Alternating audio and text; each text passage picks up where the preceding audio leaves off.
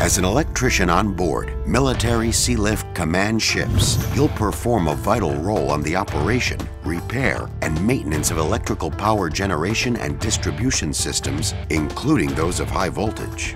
This position requires a strong knowledge of switchboards, generators, and lighting systems. You'll be working with electrical cargo handling equipment, two and three wire direct current electronic systems, and single and polyphased alternating current systems. The electricians also participate in safety testing and maintenance of the ship's portable electrical equipment. We have two positions for electrician on board, electrician and second electrician.